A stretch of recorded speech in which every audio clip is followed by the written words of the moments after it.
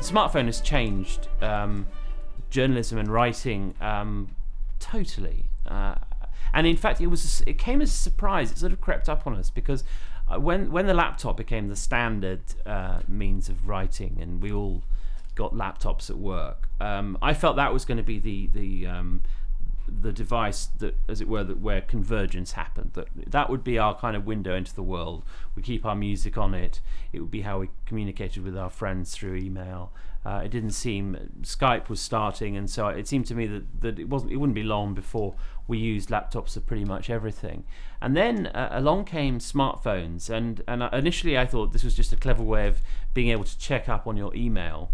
Um, and then they became a means of storing your music as well. And before you knew it, um, you had YouTube on your um, phone, everything. And and I think that smartphones have, have just changed what it is to be um, a, a, writer, but but also what it is to be a citizen. Um, you, you know, polit- most political action, most political mobilization now happens to to a certain degree via smartphones, um, which is an amazing statement, but it's true.